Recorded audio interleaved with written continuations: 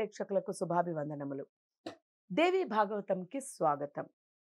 మనము యుధాజిత్ భయపడి అంటే ఒక మంత్రి ద్వారా చెప్పించుకుని భరద్వాజ్ మహాముని వారి యొక్క శాపానికి గురి కాకుండా తనని తాను కాపాడుకోవాలని వెళ్ళిపోవడం గురించి మనం తెలుసుకున్నాము.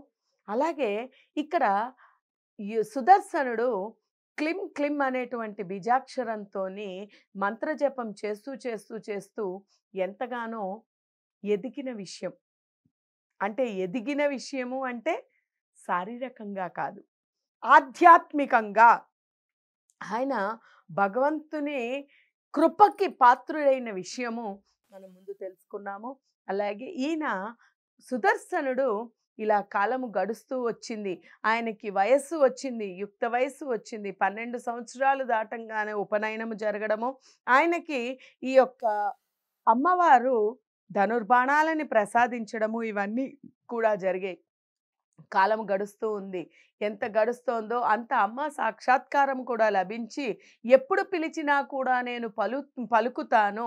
నీవు నా ప్రియ పుత్రుడివి అనే చెప్పేటువంటి స్థితికి చేరుకున్నాడు ఆ యొక్క సుదర్శనుడు. అంతటి గొప్ప అనుభవాన్ని పొందినటువంటి వాడు ఎప్ ఎవరైతే జగదాంబిక యొక్క అనుగ్రహాన్ని పొందుతాడో వాడికి సాధ్యము కానటువంటిది అసాధ్యమైనటువంటిది ఏది కూడా ఉండదు. జగన్మాత యొక్క ప అనుగ్రహానికి పాత్రమైన వాడు కృతకృత్యుడు అవుతాడు అని మనం ముందు కూడా చెప్పుకున్నాము. ఎలాగైతే ఈయన తెలుసుకున్నాడో ఇక ఇంకా ఇంకా కూడా ఆ తల్లి యొక్క శక్తి తెలుసుకుని ఇంకా ఇంకా కూడా ఏకాంత సమయంలోని ఏకాంతంగా కూర్చుని సుదర్శనుడు ఆ తల్లి యొక్క మంత్రజపం చేస్తూ ఉండడంగా ఉండంగా ఆయనకి ఏకాంతంలోని తల్లి యొక్క సాక్షాత్కారం కలిగి తల్లిని దర్శనం చేసుకొని ఆవిడ యొక్క ఆశీర్వచనముని పొందాడు. అలాగే ఆవిడ ఎలా వచ్చింది అంటే రక్తాంబరధారిణి రక్తవర్ణ అంటే రక్తవర్ణ అంటే ఎరుపు వర్ణము. ఎరుపు వర్ణముతో కూడినటువంటి వస్త్రముతో పాటు ఎరుపు వర్ణంలో ఉండేటువంటి ఆవిడ యొక్క దేహము ఈ రకంగా రక్త సర్వాంగభూషణ. ఆవిడ అలంకరించుకున్నటువంటివి అంతే అన్నీ కూడా ఎర్రని ఎరుపుతోని అంటే ఆ దివ్య మంగళ స్వరూపము ఆ తల్లి ఆ జగన్మాత అద్భుతమైనటువంటి ఆ దివ్య తేజస్సుతోని గరుడ వాహనం పైన వైష్ణవీదేవిగా దర్శనమిచ్చింది ఆ తల్లి. ఆ తల్లి యొక్క అనుగ్రహం పొందినటువంటి ఆయన ప్రసన్నుడయ్యాడనమాట. పేరు పొందాడు ప్రసన్నుడయ్యాడు ఎన్నో విద్యలని తెలుసుకున్నాడు. సర్వ విద్యలు నేర్చుకోవడంతో పాటు తత్వవేత్త కూడా అయ్యాడు. ఈ రకంగా ఈయన అయినటువంటి ఆయన గురువు యొక్క ఆశీర్వచనం ఉంటే ఏదైనా లభ్యం అవుతుంది అనేది మనం తెలుసుకోవాలి. ఇది ఇలా ఉండంగా అదే సమయంలోని శశికళ అంటే వారణాసికి వారణాసి రాజు కాశీరాజు అయినటువంటి కాశీరాజు కుమారుడు శశికళ. ఈవిడ స్వప్నంలోని అమ్మవారు దర్ అమ్మవారిని దర్శించుకొని ఆ అమ్మ దర్శనంతో అమ్మ ఆమెకి స్వప్నంలోనే నా కుమారుడు నా యొక్క అనుగ్రహాన్ని పొందినటువంటి వాడైనటువంటి కుమారుడున్నాడు.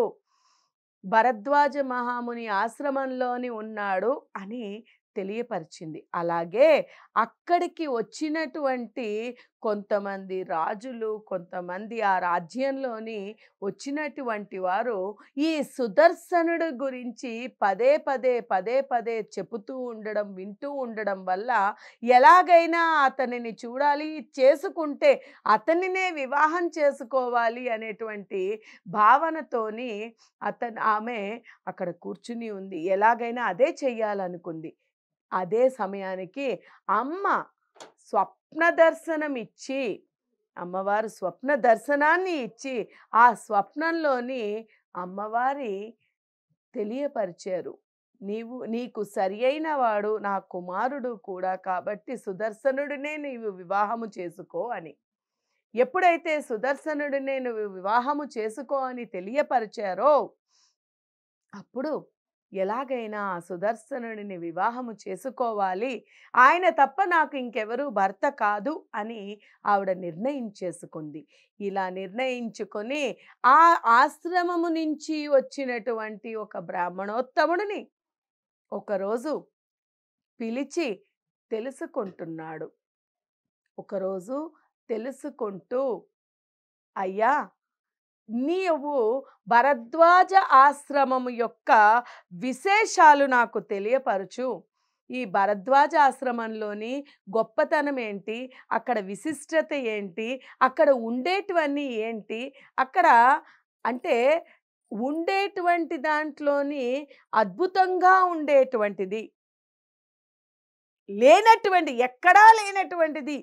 ఏం అద్భుతం ఉందో అది తెలియపరచంటే అమ్మా నీకు అన్నీ చెప్పాను కదా ఏమిటి ఇంకా ఇంకా నీవు పదే పదే అడుగుతున్నావు? నీకు ఏమి కావాలి? అన్నా కూడా ఆ తల్లి ఎలాగైనా కూడా ఈ సుదర్శనుడిని విషయంలో తెలుసుకోవాలని ఆవిడ ఇలా ప్రశ్నలు వేస్తూ వెళుతోంది. ఇలా ప్రశ్నలు వే వేసినప్పుడు ఆయన లోకాతీత విశేషం ఏమైనా ఉందా చెప్పు అన్నాడు. అంటే లోకాతీత ఇక్కడ గుర్తుపెట్టుకోవాల్సింది. ఈ లోకాతీత అంటే అర్థం ఏంటంటే లోకానికి అతీతమైనటువంటిది. లోకంలో జరిగే వాటికి అతీతమైనటువంటిది. ఇక్కడ ఆశ్రమము అనంగానే బ్రాహ్మణోత్తములు ముని పుంగవులు ముని బాలకులే ఉంటారు. అ- అంతా కూడా ఈ యొక్క బ్రాహ్మణ కే కేవలము సద్బ్రాహ్మణులు మునివర్యులు యజ్ఞ యాగాలతో భిక్షాటనతో జీవించే వాళ్ళే ఉంటారు. అసలు ఆశ్రమవాసులు అంటే అంటే లోకానికి అతీతంగా ఉండేటువంటిది ఇక్కడ ఉండేటువంటిది భరద్వాజ భరద్వాజుడు. ఆశ్రమంలోని సుదర్శనుడు ఉన్నాడు అంటే ఒక రాకుమారుడు. అక్కడ ఉన్నాడు. ఆ విషయం తెలుసు కాబట్టే ఎలాగైనా ఆ విషయాన్ని ఆయన ద్వారా తెలుసుకోవాలి. ఈ ఈ యొక్క సుదర్శనుడి వివరాలు తెలుసుకోవాలని అడుగుతుంది. ఎప్పుడైతే అడుగుతుందో తక్షణమే ఆ రా ఆ మహానుభావుడు అమ్మా నీవు అడిగినట్టు అంతా కూడా ఆశ్రమంలో ఎలా ఉంటుందో అలాగే ఉంటుంది. కానీ లోకాతీతమైనటువంటి ఒక విషయం ఉంది. అదేమిటంటే అక్కడ సుదర్శనుడు అనేటువంటి వాడు. ఒక రాజపుత్రుడు ఉన్నాడు. ఆయన అన్ని విద్యలలోకి కూడా ధనుర్బాణం అన్ని విద్యలో కూడా చక్కగా అభ్యసించినటువంటి వాడు భగవద్ అనుగ్రహాన్ని పొందినటువంటి వాడు ఎంతో కోమలంగా ఎంతో మృదువుగా ఉండేటువంటి మంచి బాలుడు రాజపుత్రుడు అక్కడ పెరుగుతూ వస్తున్నాడు. అక్కడ ఆయనకి ఎన్నో విద్యలతో పాటు ఎంతో అనుగ్రహం భగవద్ అనుగ్రహంతో పాటు గురువు యొక్క ఆశీస్సులు కూడా కలిగి ఉన్నటువంటి వాడు అని ఆయన గురించి చెబుతూ ఉండేసరికి ఇంకను ఈ శశికళకి ఎలాగైనా సరే ఆయనే నా భర్త అని మానసికంగా కూడా అంటే మానసిక వివాహము మనం ఇదివరకు ఒకసారి చెప్పుకున్నాం. మానసికమైనటువంటి అంటే సంకల్పం మానసిక సంకల్పం ఉందంటే దానిది ఇంత అంత కాదు. మానసికంగా ఆమె భర్తగా అప్పుడే భావించేసింది. ఇక భర్తగానే భావిస్తూ వస్తోంది. ఆయనని తలుచుకుంటూ ఆనందపరిపోతూ ఎంతగానో ఆనందపడుతోంది. ఈ పడుతూ ఉండే సమయంలోని చెలికత్తెలు ఏమిటిది? ఏమి ఈ విపరీతం అని తెలుసుకొని ఆవిడ ఆనందానికి స్వప్నంలోని ఆయనని దర్శించుకుంటూ స్వప్నంలోని ఈ యొక్క మునివర్యుడు చెప్పినటువంటి బ్రాహ్మణోత్తముడు తెలిపినటువంటి విషయాలని పదే పదే పదే పదే గుర్తు చేసుకుంటూ ఉండడంలోని స్వప్నంలోని ఆయన యొక్క సుదర్శనుడి యొక్క దర్శన సుదర్శనుని స్వప్న దర్శనము చేసుకొని ఇంకొంచెం ఇంకొంచెం ఆయనతోని మోహంలో పడిపోయింది. ఈయనే నా భర్తని. ఇది తెలిసి చెలికత్తలు సైతం ఆశ్చర్యపోయారు. ఈ తల్లికి తెలుస్తుంది ఈ విషయం ఏమిటి విపరీతం అనేటువంటి విషయాన్ని తెలిసి ఏమిటి దీంట్లోని అర్థం పరమార్థం అని తెలుసుకొని ఎలాగైనా తెలుసుకోవాలని తల్లి తెలుసుకుంటుంది. తెలుసుకునేసరికి ఈ ఈ యొక్క కుమార్తె అయిన శశికళ ఒక రాజ్యభ్రష్టుడైనటువంటి సుదర్శనుడి యొక్క ప్రేమలో పడిందని విషయం తెలుసుకుంది. ఈ విషయాన్ని తండ్రి ద్వారా తండ్రి దాకా తెలియపరిచింది. ఎవరైనప్పటికీ చూడండి దైవానుగ్రహాన్ని పొందినటువంటి వాడు అన్నప్పటికీ కూడా దైవ అది గుర్తించడం అంటే బ్రహ్మ విద్యని దైవానుగ్రహాన్ని గుర్తించడం అని అంత సులువు కాదు. ఎందుకంటే లౌకికమైన విషయాలు ఇదే శాశ్వతం.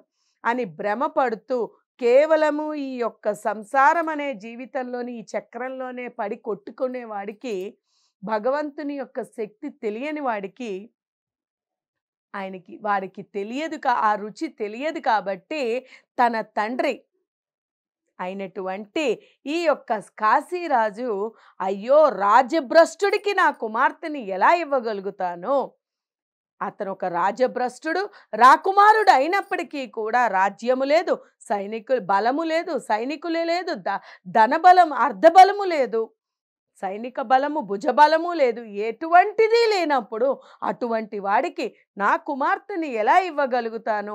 ఎలాగైనా సరే ఈమెని అందులో నుంచి బయటకి తీసి వివాహము జరిపించినట్టయితే ఆమె అందులో నుంచి బయటకి వస్తుంది ఇక బాధ లేదు అని చెప్పి రాజులందరినీ పిలిచి స్వయంవరాన్ని ఏర్పాటు చేశాడు. ఏర్పాటు చేయడానికి నిర్ణయించుకున్నాడు. స్వయంవరాన్ని ఏర్పాటు చేసి తన కుమార్తెని ఏదో ఒక రాజుకిచ్చి వివాహం చేయాలని నిర్ణయించుకున్నాడు. ఈ విషయము తల్లి మరి ఒక్కసారి మందలించి ఎంత చెప్పినను నా భర్తగా నేను కేవలం సుదర్శనుడినే స్వీకరిస్తాను అని చెప్పడంతో చేయగలిగినది లేక ఈ యొక్క స్వయంవరం యొక్క స్వయంవరము పనులు చాలా చురుకుగా నడుస్తూ ఉన్నాయి ఆ రాజ్యంలోని. స్వయంవరానికి ఎక్కడెక్కడ రాజులు శ్రీమంతులు అందరూ కూడా చేరుకున్నారు. స్వయంవరానికి ఇంకా సమయం దగ్గర పడుతూ ఉంది. ఈ సమయంలోనే ఎలాగైనా సుదర్శనుడిని కూడా అక్కడికి రప్పించాలి అనేటువంటి ఆలోచనతోని ఆ యొక్క శశికళ భరద్వాజ మహాముని వారి ఆశ్రమానికి ఒక బ్రాహ్మణోత్తముడి ద్వారా తన మనో సంకల్పము తనకి అమ్మ యొక్క ఆశీస్సుల గురించి ఒక లేఖను రాసి సుదర్శనుడికి పంపిస్తుంది. ఆ లేఖలోని నీవు తప్ప నాకు ఇంక ఎవరునూ భర్త కారు నేను చేసుకోను. నిన్నే మనసా వాచ కర్మణ భర్తగా స్వీకరించాను. నేను క ఇది అమ్మ యొక్క ఆజ్ఞ. అమ్మవారు ఆశీస్సులతోని అమ్మవారి యొక్క ఆజ్ఞగా నేను నిన్నే వివాహం ఆడాలి అనుకుంటున్నాను. నీవు కాదు అన్న పక్షంలో నాకు మరణమే శరణ్యము తప్ప దీనిని మించి నేను ఇంక ఎవరిని వివాహము చేసుకోను అని చెప్పడం జరుగుతుంది. ఈ లేఖను చూసి అతడు ఆశ్చర్యపోయి సుదర్శనుడు ఏమి చేయాలో తెలియక గురువు దగ్గరికి వెళ్ళి గురువు భరద్వాజ మహాముని వారైనటువంటి వారి దగ్గరికి వెళ్ళి ఆయనకి ఈ లేఖను చూపించి ఆయన సైతము ఈ లేఖను చూసి అమ్మ ఆజ్ఞ అంటే కాదనేటువంటి వారు ఎవరు ఉంటారు చెప్పండి? ఈ ఆజ్ఞ ఇది తెలుసుకొని ఆ కుమారుణ్ణి ఆశీర్వదించి నీవు వెళ్ళు నాయనా ఇది అమ్మ యొక్క ఆజ్ఞ కాబట్టి అమ్మ యొక్క ఆశీస్సులు కాబట్టి ఆవిడే అంతా చూసుకుంటుంది. నీకు అంతా శుభమే జరుగుతుంది అనేటువంటి విషయాన్ని తెలియపరుస్తారు. తెలియపరచడంతో ఆయన బయలుదేరడానికి సిద్ధమవుతాడు. ఈ విషయము తెలుసుకున్నటువంటి తన తల్లి అయిన మనోరమ పరుగు పరుగున ఇక్కడ మహాముని వారి దగ్గరికి వచ్చింది. భరద్వాజ మహాముని వారి దగ్గరికి స్వామి ఏమిటిది? నాకు ఎందుకో చాలా భయంగా ఉంది. నా కుమారుడు లేకలేక కలిగినటువంటి కుమారుడు ఒక్కడే. వాడు తప్ప నాకు దిక్కు లేడు. అటువంటి కుమారుణ్ణి మీరు అక్కడికి పంపిస్తున్నారు. మీరు పంపిస్తున్నది సరే. కానీ అక్కడికి నా శ- మా శత్రువు అయినటువంటి యుధాజిత్ కూడా వస్తాడు. మా తండ్రి అయినటువంటి యుధాజిత్ వస్తాడు. అతను వచ్చినట్టయితే అక్కడ నా కుమారుడికి ప్రాణగండమే ఉంది. ఏమి చేయాలి స్వామి? అని అడిగినప్పుడు అమ్మా ఇది దైవ నిర్ణయము. అమ్మ యొక్క ఆశీస్సులతో అమ్మ యొక్క అనుగ్రహముతోని నీ కుమారుడు అక్కడికి చేరుతున్నాడు. దమ్ అమ్మ యొక్క ఆజ్ఞ కాబట్టి దాని ద్వారానే వెళ్ళనీయమ్మా. నీవు ఆ కుమారుడు వెళ్ళదానికి ఆశీర్వదించు తల్లి అనేసరికి మా భరద్వాజ్ మహాముని వారు చెప్పినటువంటి వాక్యాన్ని విని గురువు ఆజ్ఞ కాబట్టి గురువు మాట ఎప్పుడూ కూడా ఒమ్ము పోదు అనేటువంటి ఉద్దేశంతో ఆమె మనసును ఆమె కుదుటపరుచుకొని కుమారుణ్ణి ఆశీర్వదించి పంపించడానికి నిర్ణయించుకొని ఇక పంపిస్తూ ఉంటుంది. ఇక బయలుదేరడానికి అశ్వము ఆ యొక్క గుర్రము రథము ఏర్పాటు అయింది. ఈ యొక్క అశ్వము సైతము అమ్మవారు అనుగ్రహముతో వచ్చినదే. శ్వేత వర్ణంలోని ఉండేటువంటి ఈ అశ్వము అమ్మవారు ప్రత్యక్షమైనప్పుడు ఆయనకి ప్రసన్నించి ప్రసాదించినటువంటి అశ్వము కాబట్టి దాని ఆ రథములోనే అమ్మవారు ప్రసాదించినటువంటి రథములోనే ఆయన ప్రయాణానికి సిద్ధమయ్యాడు. ఎప్పుడైతే రథము బయలుదేరడానికి సిద్ధమైందో తల్లి అదే ప్రేమ మమకారము తల్లి యొక్క ప్రేమ అదే కాబట్టి కుమారుని చూసి వల వల వల ఏడవడము మొదలుపెట్టింది.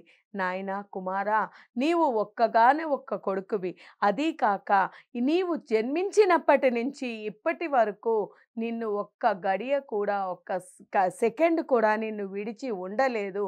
అందువల్ల ఏమైనప్పటికీ కూడా నన్ను కూడా నీతో పాటు తీసుకువెళ్ళు నాయనా. ఏమి జరిగినప్పటికీ కూడా నేను నీతో పాటే ఉంటే నిన్ను చూస్తూ ఉంటే నాకు ఆనందంగా ఉంటుంది. దయచేసి నన్ను కూడా తీసుకువెళ్ళు స్వామి నన్ను వె- నేను వెళ్ళడానికి అనుజ్ఞనియ్యండి అని భరద్వాజ మహాముని వారిని కూడా వేడుకొనడంతో ఇరువురిని వెళ్ళడానికి ఆయన ఆశీర్వదించి పంపించారు. సుదర్శనుడికి చెప్పారు తల్లిని తీసుకుని వెళ్ళమని. ఇద్దరు బయలుదేరి ఆ రథము బయలుదేరి అక్కడ అయోధ్యకి చేరుకుంది. వారణాసికి ఎప్పుడైతే వారణాసికి చేరుకుందో కాశీరాజు అక్కడ సన్నాహాలు జరుగుతూ ఉన్నాయి స్వయంవర సన్నాహాలు జరుగుతూ ఉన్నాయి. అందరూ రాజులు కూడా శ్రీమంతులు ఎంతో ధనవంతు శక్తివంతులు అందరూ కూడా సైన్యాలతోని అక్కడికి వచ్చారు. ఏమీ లేకుండా కేవలము భగవద్ అనుగ్రహంతో ఏమీ ఒక సైన్యము కానీ ఒక శక్తి కానీ ఏది లేకుండా కూడా వచ్చినటువంటి వాడు సుదర్శనుడు మాత్రమే. వచ్చినటువంటి రాజులందరికీ కూడా కాశీరాజు విడుదలను ఏర్పాటు చేసి వారు వారు నివసించడానికి విడిది గృహాలకి వెళ్ళమని చెప్పాడు. అందరితో పాటు కాశీరా కాశీరాజు సుదర్శనుడికి కూడా ఒక విడిది గృహాన్ని ఏర్పాటు చేశాడు. అన్ని గృహాలలోని కూడా రాజులు రాజులతో పాటు వారు వారి వారి సైన్యాలు ఉన్నాయి. కానీ ఇక్కడ మాత్రము సుదర్శనుడు కేవలము తన తల్లితో మాత్రమే వచ్చాడు. తల్లి కుమారుడు తప్ప ఇంకా మరి ఒకరు ఎవరూ లేరు. కానీ ఎంతో నిశ్చలంగా ఎంతో సుఖముగా ప్రశాంతముగా నిశ్చలముగా కూర్చుని ఉన్నాడు. అతనిని చూసి అందరూ ఆశ్చర్యపోతున్నారు. ఏమిటిది? రాజ్యభ్రష్టుడైనటువంటి వాడు ఏమీ లేనటువంటి వాడు ఒక ఆశ్రమంలోని వెలిసి నిలుస్తున్నటువంటి వాడికి కుమారుడిని కుమార్తెని ఇస్తారా? ఇతను ఏమి ధైర్యముతో వచ్చాడు? ఎందుకు వచ్చాడు అసలు? ఏమిటిది? అని అందరూ కూడా ఆశ్చర్యపోతూ ఉంటారు. ఆశ్చర్యపోయి స్వయంవరాల్లోని ఎవరిని వరిస్తుందో తెలియదు. అందుకని కాసి ఇక్కడ ఎంతో ఎంతో అందంగా అలంకరింపబడినటువంటి కాశీలోని కాశీ నగరంలోని ఆ రాజ్యంలోని అందరూ కూడా అక్కడ ఆసీనులయ్యి ముందరగానే మనందరము కూడా ఒక సభను ఏర్పాటు చేసుకొని మనము మాట్లాడుకుందాము. అసలు ఏమిటిది? ఈ యొక్క స్వయంవరంలోని రాజ్యభ్రష్టుడిగా ఉండేటువంటి వాడిని వరించింది అంటే కనుక ఏమి జరుగుతుందో మనకి ఎటువంటిది ఉంటుందో అనేటువంటి ఆలోచనతోని ఒక రాజ్యభ్రష్టుడిని వరించింది అంటే మనందరము కూడా అవమానాల పాలవుతాం కదా! అలా కాక మనని వరిస్తే అతను ఇబ్బంది పడతాడు కదా! ఇవన్నీ జరగకుండా ముందరగానే మనం ఒక నిర్ణయానికి వచ్చి ఒక సభని ఏర్పాటు చేసుకొని మనము అతనికి చెప్పుదాము అని రాజులందరూ కూడా అక్కడ ఆసీనులయ్యి ఆ సుదర్శనుడిని పిలిచి అక్కడ చర్చించుకోవడానికి తయారయ్యారు. అది ఏమి చెప్పారు? ఆ దానికి సమాధానం సుదర్శనుడు ఏమి చెప్పాడు అనే విషయాన్ని మనం రాబోయే ఎపిసోడ్లో తెలుసుకుందాం.